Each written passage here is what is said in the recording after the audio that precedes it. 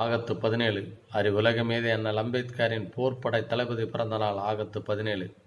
ஆண்டாண்டு காலமாக அடிமைப்பட்டு கிடந்த இனத்தின் அடிமை விலங்கை உடைத்தெறிய அவர்களின் கண்ணீரை துடைத்தெறிய ஒரு புரட்சியாளன் பிறந்த நாள் ஆகத்து பதினேழு. எங்கெல்லாம் அடக்கி ஒடுக்கப்பட்ட மக்களின் இதய துடிப்பு கேட்டதோ அங்கெல்லாம் அவர்களின் அவலங்களை துடைத்தெறிய எந்த கால்கள் பயணித்ததோ அந்த கால்களுக்கு சொந்தக்காரன் பிறந்த நாள் ஆகத்து பதினேழு. இனத்தின் முன்னேற்றத்திற்காக உழைக்காதவன் பிணத்திற்கு சவமாவான் என்ற அறிவுலக மீது அண்ணல் அம்பேத்கரின் பொன்மொழிக்கேற்ப தன் இனத்தின் முன்னேற்றத்திற்காக தன் வாழ்வையை அர்ப்பணித்த ஒரு மகத்தான தலைவனின் பிறந்தநாள் ஆகத்து பதினேழு.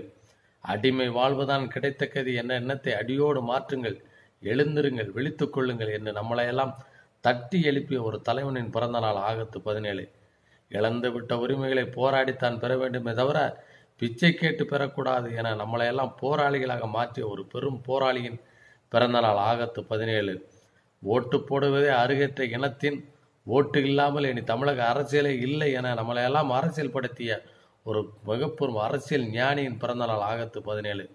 மக்களுக்காக போராடுகிறவன் தலைவன் மக்களை போராட்டத்திற்கு தயார் செய்யும் புரட்சியாளன்.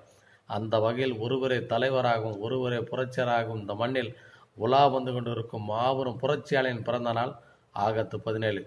ஆகத்து பதினேழில் பிறந்த நாள் காணவிருக்கும் சமூக நீதி காவலன் புரட்சியாளன் போராளி எனது ஆறுயிர் அண்ணன் இந்த இனத்தின் தலைவன் டாக்டர் தொல் திருமா வளவன் அவர்களை வாழ்த்த வயதிலே வணங்கி தோழர்களே எனது உயிரினும் மேலான விடுதலை சிறுத்தைகளை உங்களுக்கெல்லாம் ஒன்றை சொல்லிக்கொள்ள நான் கடமைப்பட்டிருக்கிறேன். உலக புரட்சியாளன் டாக்டர் நெல்சன் மண்டேலா நமக்கெல்லாம் ஒன்றை கற்பிக்கிறான் தோழர்களே. அடக்கி ஒடுக்கப்பட்ட சமூகத்தில் இருந்துதான் உன்னதமான தலைவர்கள் தோன்றுவார்கள் என்று.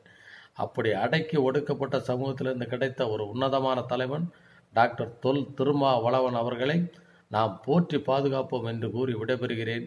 ஜெய் பீம். நன்றி.